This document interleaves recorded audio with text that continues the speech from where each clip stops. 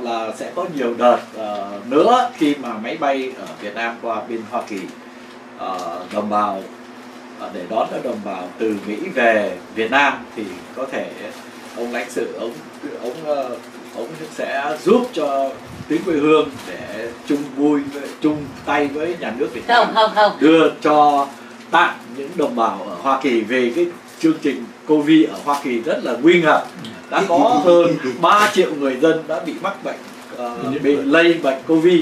Hơn 1 triệu 200 ngàn người là có thể nói là có thể bị critical nguy hiểm. Và tình trạng ở Cali tôi đã thấy một số những đồng bào Việt Nam đã nằm ở nhà thương nằm ở nhà ở nhà thương ở Fountain Valley và nhiều nhà thương ở vùng Huntington Beach. Số lượng người Việt Nam và có nhiều gia đình Việt Nam đã mất trong cái, cái dịch Covid này. Thì đây là một là một ờ, một hình ảnh tốt đẹp nhà nước đã cố gắng đã phụ hộ đã trợ giúp cho trong tương lai những những khẩu trang giúp đồng bào ờ, đeo để chống covid. À, xin mời chị thưa thưa thưa tôi, xin sửa lại thôi. Anh à, trong phạm bảo là giúp tiếng quê hương không phải. Nhà nước Việt Nam đã trao trách nhiệm cho tiếng quê hương để phân phát những cái khẩu trang của nhà nước ra trao lại cho lại đồng bào. tức là giao cho tôi trách nhiệm chúng tôi vì vậy chúng tôi rất là là hãnh diện nhận lãnh trách nhiệm đó. Và bây giờ nếu còn khẩu trang nữa chúng tôi vẫn thường để đây và anh em lại có trách nhiệm để phân phát đi những nơi nào cần thiết đúng không ạ? Các anh đồng ý không? Dạ vâng cái cái cái món quà đấy chị nó nó giản dị nhưng mà nó rất là cấp thiết vâng. cho người dân ở đây bây giờ. Vâng bây giờ covid nó hoàn hành ở đây hôm qua ngày ngày hôm qua ở tại, tại sân bay New York à, tôi có Việt Nam mình đổ bộ xuống 2 tấn. 2 tấn đúng rồi. 2 tấn, 2 tấn cho New York. Thì tại vì đấy mình thấy là à. những cái cái cái sự làm việc mà rất là giản dị. Ngay với tụi mình ở đây. Hai à. tấn uh, khẩu trang và dụng cụ vệ sinh yes, yes. lớn mà mà họ bây giờ họ thiếu là rất là trầm trọng. Ừ. thì mình cũng rất là mừng. Mừng là đến bây giờ mình có một mình một có những cái chuyện mà mình nhìn thấy ở bên này rồi mình nghĩ việc mình thấy Việt Nam họ họ giải quyết được cái chuyện làm dịch rất là mừng. Không ừ, từ tuần vừa rồi là mình thấy bao nhiêu người bắt đầu là bây giờ là tại vì du khách ngoại quốc thì không có về Việt Nam rồi. Ừ. thế thì bây giờ không có tây người Việt Nam mình đi chơi. Bây giờ mình thấy Việt Nam mình đi chơi. Sân bay đặt nhịp đi máy bay bay trong nước thôi từ Sài Gòn ra Phú Quốc. Đúng không giờ rồi các cái bờ biển rồi đi ta này, thoải mái. Đi khơi khơi đi quá mà mà, mà. mấy cái bờ biển Việt Nam trong đấy là đông mà mà mà mà cái cách mình nhìn thấy cái cách mà thành công của dịch bệnh ở Việt Nam Covid là thì mình, mình thật là mừng chứ không phải không.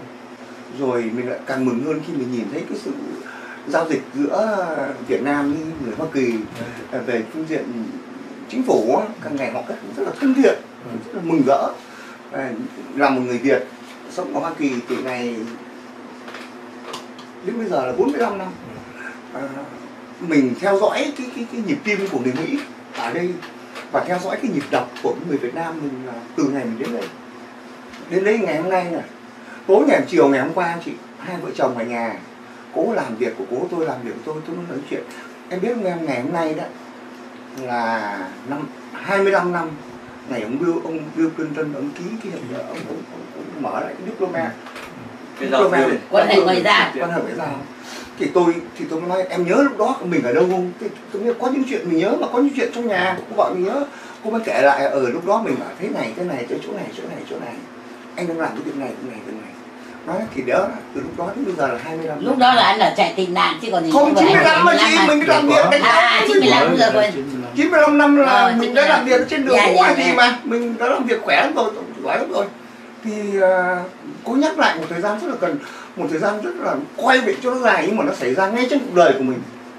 Và cái ngày mình qua đi năm 1975 chẳng bao giờ mình nghĩ có ngày nào mình còn nhìn nhìn được một người Việt Nam. Đúng rồi ừ. chẳng bao giờ mình nghĩ là có ngày nào mình nhìn thấy được Việt Nam. Rồi. chết là chôn ở đây chết là chôn đây luôn. No more Việt Nam no more Việt Nam. Đến bây giờ đó là cái cách nói chuyện mà ngay cả cái sự liên lạc giữa người Việt Nam với người Việt ở đây với Việt Nam bây giờ là mình không còn hơi để mình nói chuyện nữa tại vì nó rất là tự do thôi gọi không phải trả tiền còn được quay hình nữa. Thôi mình ngừng ở đây là cái sự anh, của mình tôi sẽ tiếp tục với anh về đề tài này để tôi vâng. Châu nói về về không thì bây giờ thì à, à, bắt đầu về chương trình hôm nay. Chúng tôi xin nói đến à, hai tổ chức chính trị mà họ đã đưa lên trên à, Radio Free Asia Đài Á Châu Tự Do. Và để quy kết rằng Việt Nam không có nhân quyền hai cái tổ chức chính trị là mạng lưới nhân quyền Việt Nam và người bảo vệ nhân quyền. Họ đã ra thông cáo báo chí ngày 25 tháng 6 để yêu cầu xem xét xử và thả những cái người mà bị tù tội vi phạm hình sự của Việt Nam. Và họ những người đã, đã ở trong tù đó thì họ cho những người đó là tù nhân lương tâm. Thì họ xin yêu cầu phải thả cái tay là Nguyễn Quốc Đức Vượng. Tên Nguyễn Quốc Đức Vượng đã viết trên Facebook những cái gì chống đối Việt Nam nhiều lắm. Và tên Nguyễn Quốc Đức Vượng đã bị kết án tù là 8 năm tù và 3 năm quản chế. Anh bị anh ta bị bắt à, vào tháng 9 năm 2010 2019 theo điều 117 của Bộ luật hình sự. Và cũng nhân cái cơ hội này thì à, Đài Á Châu Tự Do đã sử dụng hai cái tổ chức chính trị để lên án nhà nước Việt Nam. Thưa anh xin phép tôi nói về tổ chức chính trị. À. bốn người chúng tôi đây cũng là một tổ chức chính trị đúng không? Yes chúng tôi cũng không có tham vọng đi làm tổng thống Việt Nam Cộng Hòa không tham vọng đó. Nhưng mà bởi vì những có những tổ chức chính trị muốn phá rối an ninh trật tự của đất nước chúng tôi cho nên phải sự có mặt của bốn anh em chúng tôi ở đây thôi. Nhưng mà không có họ thì cũng không có tôi. Chúng tôi anh vừa nghĩ rằng ôi anh có câu mình, nào rất là hay đó. mình, mình mình nghe chị nói thì mình nhớ lại câu chuyện Tam Quốc ngày xưa. À, hay Ôi, đấy ông, ông Chu Du ông vua sinh ông- chu du hà, hà sinh thiên sinh du Ừ. hà sinh lượng đó là câu chuyện của mấy ngàn năm về trước thế cái đời đến đời tụi mình á thì ở dưới mình có cái ông đồng quân ông bảo là trời đã sinh ra ông cô vùng tự châu nỡ lòng lòng nào sinh ra nào mình quân? Thì thì thì um, không bây giờ lại phải nói thêm bốn ông này chứ đâu phải một mình phùng thừa châu. Phùng thừa châu mà không có ba ông này nữa thì cũng không có thành tích hư được nữa. Mình chỉ hỏi mình thì mình chỉ nghĩ đó thôi chứ mình không nghĩ thế nên rồi. Tôi nói sơ về cái bản chất ờ, hợp pháp của cái cái gọi là hội nhân quyền à, mạng lưới nhân quyền. Cái vấn đề Mạng lưới nhân quyền. mạng lưới nhân quyền hay là vấn đề nhân quyền của những cái hội nhân quyền Đúng ở. Hoa Kỳ là một cái hội không có hợp pháp.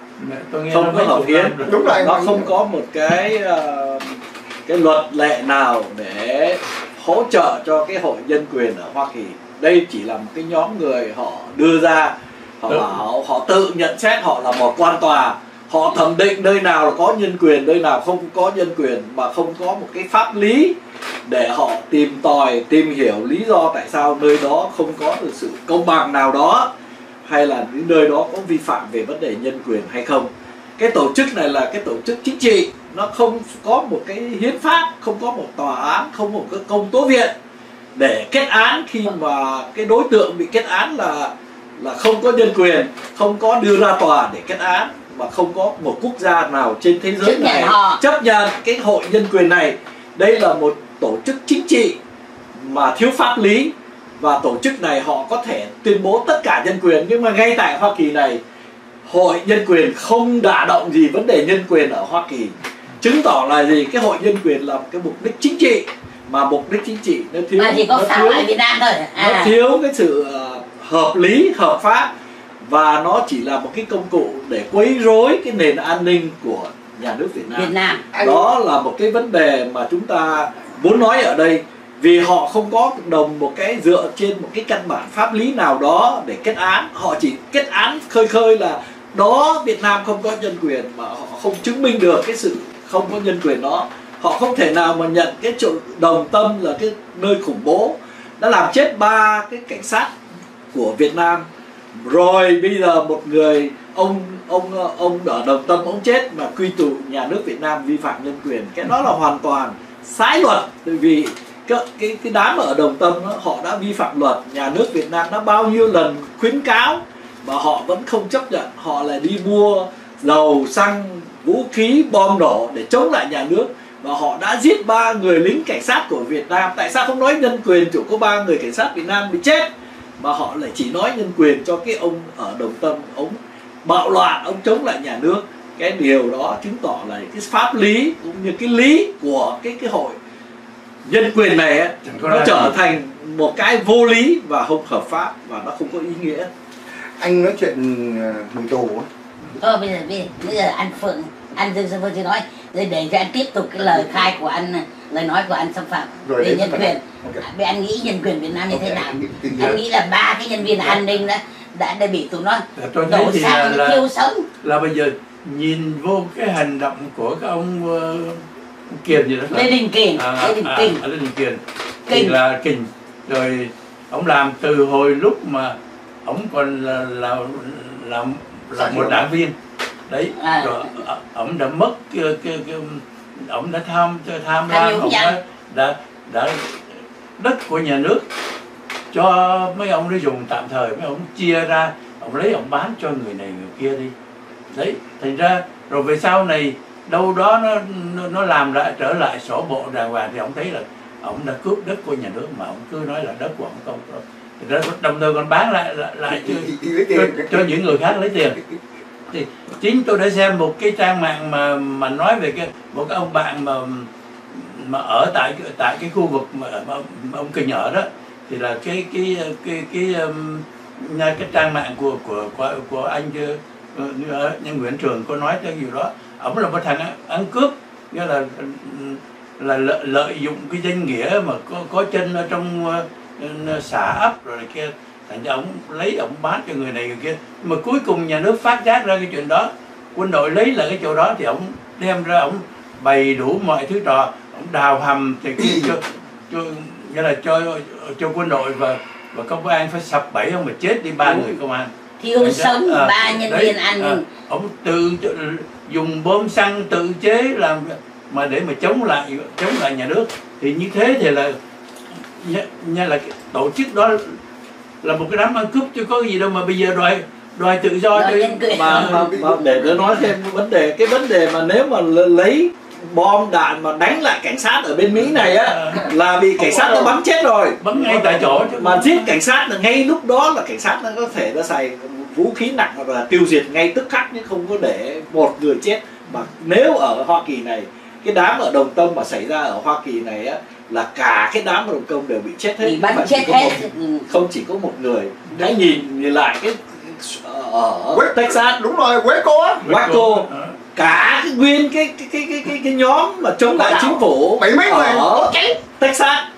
Bảy chục mạng người đã bị chết. kể cả đàn bà Cả con đàn bà con nít luôn ở trong đó đều bị luôn. chết. Mà tôi không hiểu là tại sao cái nhân quyền ở Hoa Kỳ này nó không đả động gì hết cái đó tôi chỉ nói vấn đề cái đám hơi cô pháp đó là lý. một cái đám tổ chức ờ, tôn giáo pháp lý nhân quyền đó nó không có giá trị và nó không đi đến một cái cái ờ, pháp lý nào. Văn hiến, văn hiến ở Hoa Kỳ quốc hội Hoa Kỳ không chấp nhận và ngay cả cái trong cái cái hiến pháp Hoa Kỳ nó cũng không có cái gọi là nhân quyền này.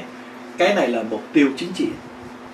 Tôi nói chuyện ờ, bảo là bị bắt oan hay bị hàm oan thì mới xin thả. Bây giờ nói chuyện Việt Nam xa quá nhá mình là nói cái chuyện mà bắt tù oan đó là tôi cái này chuyện này chuyện tôi làm tôi biết là để tôi nói cho thưa quý vị nghe. Ở San Diego county của tôi á trung bình một năm họ bắt hơn 100 ngàn người bắt người lớn tối thiểu ra là từ 5% đến 7% đó họ bắt bắt oan. Tại vì tôi làm việc à? đó tôi hiểu chỉ bắt oan là rất nhiều. À, có bắt nhiều đó là rất gì thế. Thì thế này này cái mạng lưới nhân quyền đó tôi biết là cái cái cái, cái trụ trụ sở là sẽ ở, ở đây New này York, ở New York. New York á bây giờ ông, ông Việt Nam mà bây giờ tôi nhờ các ông á đòi đòi cái sự mà à, cả, cả, cả, cả, cả, tha bổng đòi cái sự thông cảm của chính phủ ở đây này. với một người bị bắt oan. Cần một người thôi. Ông chỉ làm được một một người thôi. Mà quý vị mà không có tên có tuổi ấy, thì quý vị hỏi tôi tôi sẽ cung cấp cái hồ sơ nó này thế này này biết bao nhiêu người bắt oan xin một người thôi. Ở ngay cái nơi mình đang đang đang ở đây này. Bảo không làm. Một người thôi. Mà chính phủ không có tên ấy thì hỏi tôi tôi nói. Tôi nói cái câu chuyện nó là thế nào. Mà chuyện ở đây các vị đã không có sờ đến nữa. mà quý vị nói chuyện nói đâu đâu đất nước tự do nó, nó xảy ra thì có cái chuyện thế này. Có những lời nói là rất là hay. Rất là đúng. Tự do mà.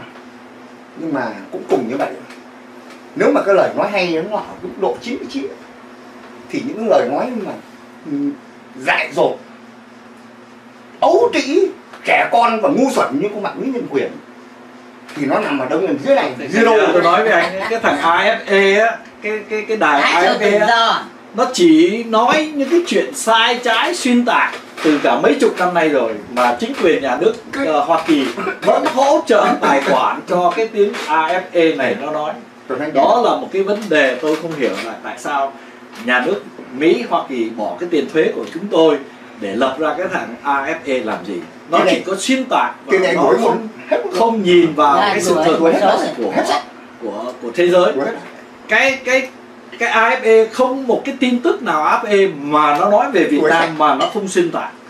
Các, các nếu mà cái sự công tâm của cái đài AFE này á đáng nhẽ chúng ta phải biên thơ lên quốc hội Hoa Kỳ chấm dứt cái đài AFE này.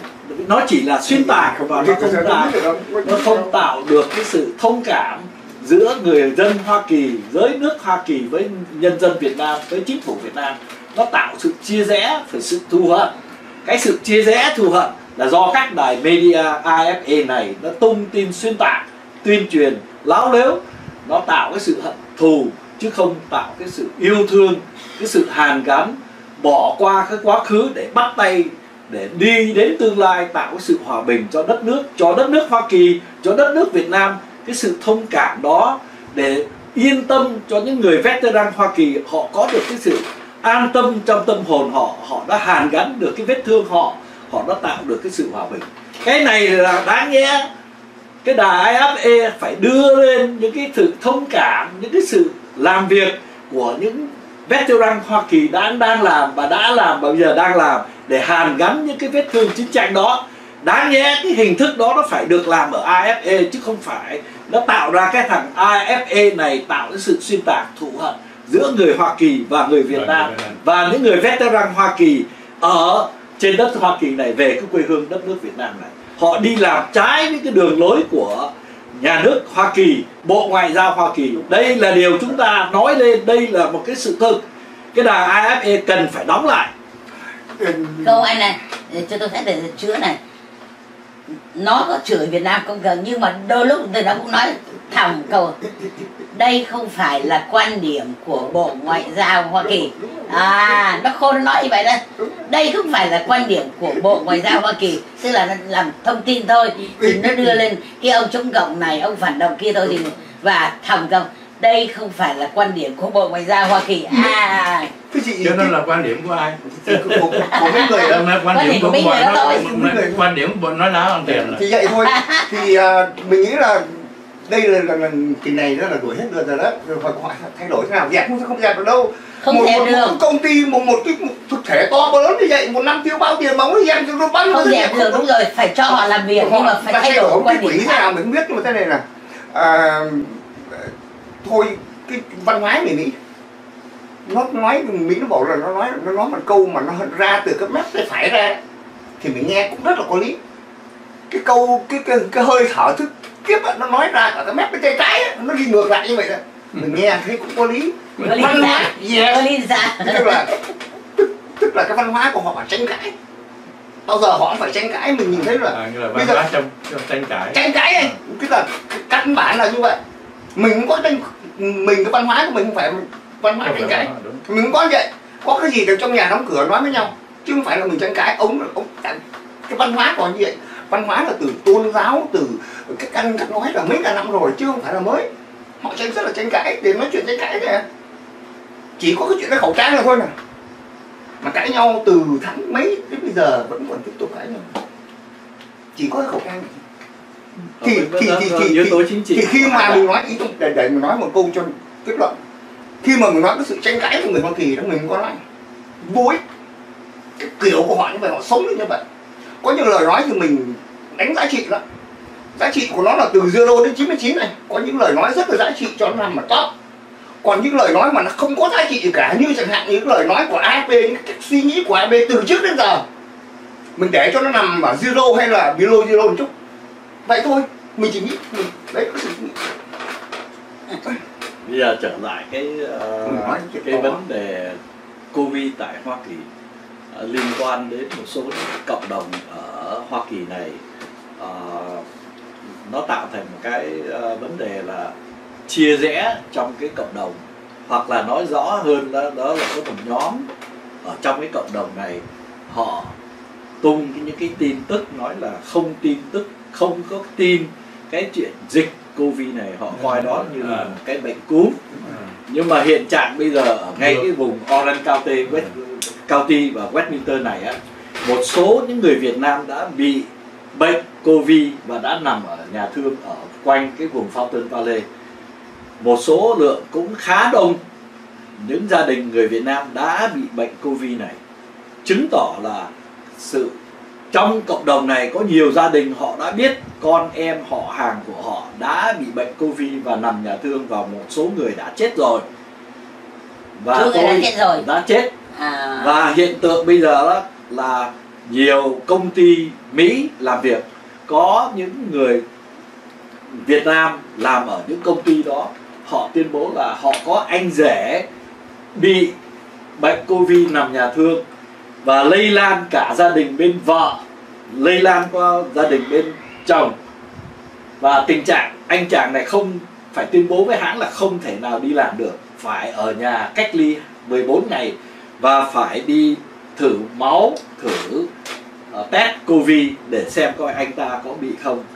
Đây là một sự lan tràn nó bắt đầu nó đi đến những cộng đồng Việt Nam khi họ bắt đầu họ đi làm họ giao tiếp ở bên ngoài. Cái tình trạng này nó trở thành nguy hiểm chứ không phải là không nguy hiểm và chúng ta ở cộng đồng ở bên Hoa Kỳ này không thể nào vì vấn đề yếu tố chính trị mà chúng ta biểu tình hoặc là chúng ta chống lại cái chuyện đeo khẩu trang đó là một cái sự nguy hiểm vấn đề ăn về sức khỏe của đồng bào sức khỏe của người dân địa phương sức khỏe của gia đình cái Và báo động này xã hội, nữa. xã hội cái báo động về vấn đề cái covid này nó lan tràn nó tới đã tới chân cửa người dân Việt Nam ở Hoa Kỳ, ở ngay cái quận Cam, Cali này, ở quận Cam này, có đông số người Việt Nam đã đã đã sống ở cái vùng Cali. Đó là một cái tiếng báo động và tôi biết được có nhiều gia đình đã rất là khổ sở vì vấn đề gia đình bị lây lan Covid. Không thể nào mà chăm sóc được con cái và kể cả bố mẹ mình đi khi bệnh Covid, đến cái tuổi bị bệnh Covid rất là sợ, là vì khi mà đi đến nhà thương không biết nhà thương nào họ sẽ nhận nhận bệnh nhân và trường hợp nào người bệnh nhân nó phải gọi đến uh, nhà thương để vào nhà thương.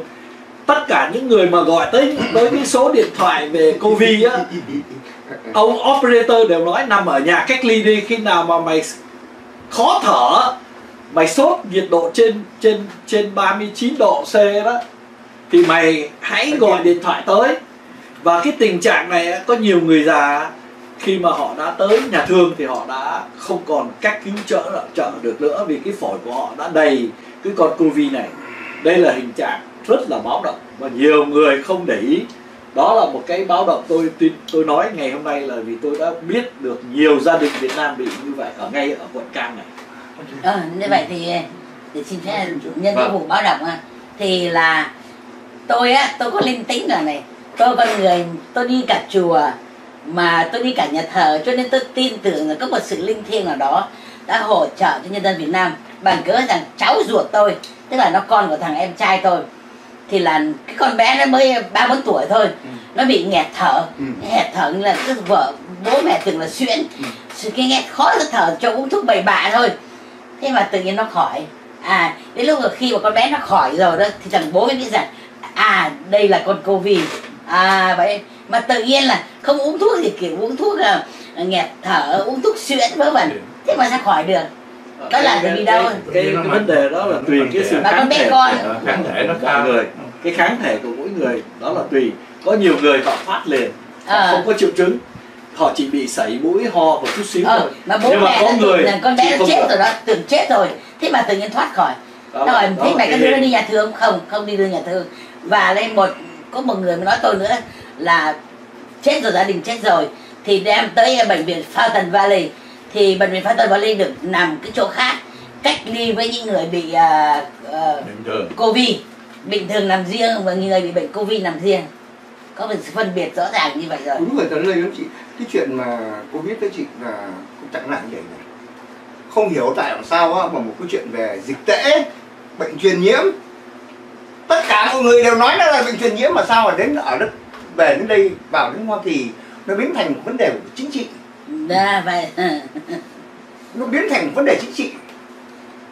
Mà khi mà nó là một vấn đề của chính trị đó thì mình chỉ có giải quyết theo cái kiểu chính trị mà thôi. À, mình mình ở đây à, những cái quyết định gì của chính phủ mình nghe lời mình hiểu nhưng mà mình thấy bây giờ là thấy cũng tội nghiệp thật. Mà thì khi mình nhìn thấy ở đây á, rồi mình nhìn thấy Việt Nam thấy họ vui vẻ mừng chứ. Ở Việt Nam bây giờ hết Covid rồi. tôi nói là này nhà nước ở Việt Nam mà họ mở cửa đó mà về mà không cách ly là tôi quốc cái lần này là quốc rất là lẹ Một- Tôi quốc lẻ hơn anh ạ. tôi nó nói với vợ tôi kỳ này là quốc rất là lẹ em phải theo dõi cho anh cái vụ này. Đúng đúng đúng. mà cái này tôi quốc hấp dẫn nha hai vợ chồng tôi quốc hấp dẫn lắm mà cái này tôi quốc thì mình được à, đi máy bay về tân sơn nhất nào cái mình sau này mình lại được đi đến máy bay về hà nội. Cái này biết là mình chơi thẳng một đường từ mỹ về đến đà nẵng. Tôi, Dạ, tôi, tôi dạ. nói với cô vợ tôi Hoàng anh nói em này là không có một cặp gia đình nào mà được như tụi mình. Về đi được ba cái phi trường to khổng lồ ở ba nơi mình được đều đã được hạ chân xuống. Đấy đó đó là mình nói chuyện mình quốc nhá mà không biết hồi nào đấy anh À, thì tôi, tôi nói anh nghe buổi đi về Việt Nam. Thì tôi gọi cho cái hãng máy bay. Ok. mà mình thường gọi đó cái xong tôi nghĩ là mình có thể là nhờ ông ờ, tổng lãnh sự Việt Nam can thiệp ok, cho mình ok. khỏi cái bị cách ly 11 ngày đó. Ok. Thì cái cái tôi hỏi chừng nào có thể mua vé. Thì cái ông đó bảo chưa mua vé được cô ơi. Nói, thế bây giờ tôi nhờ nhà nước Việt Nam can thiệp cho tôi bởi vì có đặc biệt có chuyện gia đình đó mà. Không được cô ơi. Cô phải nhờ tới em cô phải nhờ tới thủ tướng Nguyễn Xuân Phúc mới được chứ còn ông tổng lãnh sự không ăn nhà gì. Đây là cái gì? đây là một chính sách của nhà nước Việt Nam. Rõ ràng sẵn sàng hy sinh về vấn đề kinh tế để bảo vệ nhân quyền cho nhân dân Việt Nam. Cái ờ, cái cái, cái phải nói á, khi mà nhìn về Covid á cả thế giới họ hướng về Việt Nam, Việt Nam, họ nói không có một quốc gia nào tôn trọng cái quyền sống của người dân dân Việt Nam. Cái công bằng mọi người dân Việt Nam có một cái công bằng đều được bảo vệ mạng sống sức khỏe về vấn đề Covid.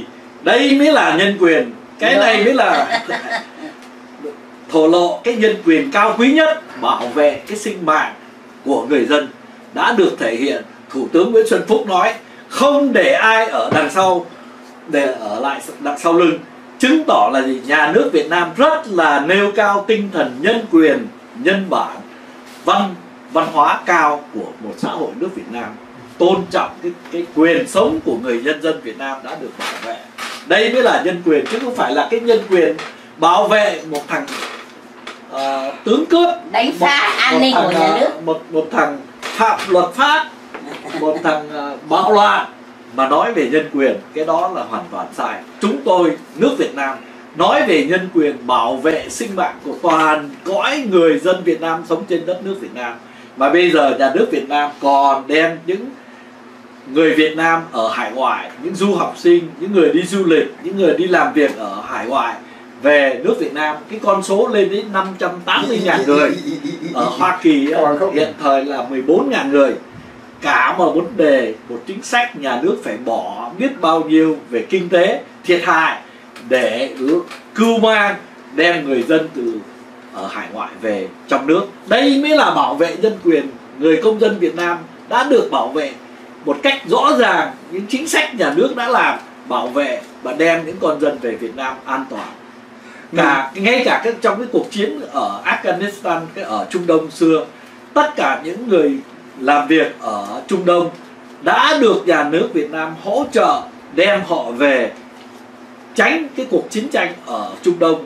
Đây là mới gọi là nhân quyền người nhà nước Việt Nam đã thật thật đã thể hiện qua cái sự bảo vệ sinh mạng quyền lợi của người dân. Đó mới là gọi là nhân quyền. Cái nhân quyền này mới là chính đáng chứ không phải là một thứ nhân quyền hỗ trợ cho sự bạo loạn. Có, có, có, có cái này thì tôi, tôi tôi cũng xin nói rõ. Là riết rồi chúng tôi ở Hoa Kỳ mà theo dõi tin tức từ các cái cái đài của Mỹ tin tức các cái đài của của, ờ, ờ, ờ, của Việt Nam bên này rồi chúng tôi không biết bây giờ chúng tôi tin cái đài nào. Bây giờ cái, là ngày nào thì cũng nói thêm bao nhiêu người ngày nào cũng nói là thêm bao nhiêu người. Rồi ờ, ờ, đảng cộng hòa nói một cách khác đảng dân chủ nói một cách khác. Thành ra không biết cái không biết cái tin nào là tin thật. Ờ, cái số nó lên hay là nó xuống? Nó, nó bớt đi hay là nó càng ngày nó bớt dần đi hay là nó càng ngày nó càng thêm? Thành ra ngay những cái việc mà mà tối cần thiết để cho cái người dân biết thì cái cái mạng lưới thông thông tin bên này nó nhân bị quyền không có. À, nhân quyền không có. Ra là mạng lưới anh nói mạng lưới vị nhớ Ờ. mạng lưới không thấy nói gì hết. Đấy mà mà, mà không không biết tin vào ai đó thì đó mà đảng dân chủ thì là là bảo cái này là là cộng hòa nó phá. Còn là, là đảng cộng hòa thì nó cái này đảng dân chủ phá. Thành ra cái người dân ở bên này nó nó hoang mang mà nó ở một cái nước mà đầy đủ thông tin như thế mà dân chúng thì bị xuyên, xuyên tạc bị mù mờ không biết ở đâu là đâu ngay thỉnh thoảng nghĩa là tôi xem ờ, ý. nha những cái của bác nha của bác phạm gửi gửi cho tôi đó. Peter Phượng à, à, không. Song Phạm. à, à, Song Phạm gửi cho tôi đó thì tôi thấy ông này ông có đi làm ông theo dõi ông chừng cái nguồn tin của ông mình còn mà còn tin được. Chứ mà mở đài đó cũng không biết ở đâu mà, mà nhưng mà tin đó có có một cái tin vui là ở Việt Nam bây giờ cái ông ờ, bị bệnh Covid 91 À, người Anh ông- ông- đã lên máy bay trở ông về nước Anh. Anh. Vâng, ông đã lên máy bay trở về nước Anh. à đúng rồi Đó là một cái điểm son nhà nước Việt Nam đã làm và những vị bác sĩ của Việt Nam đã chứng tỏ với thế giới cái sự quan tâm của của người dân ngoại quốc ý, đã được bảo vệ ở Việt Nam và bây giờ cái ông ông người Anh bị bệnh Covid 91 này đã lên máy bay đi trở về về nước Anh. hồi đó mà mình nghe đến ông nói ถึง ngay cái bàn này mình nói là ông để ông chết à nhưng mà có có cái là cái câu mà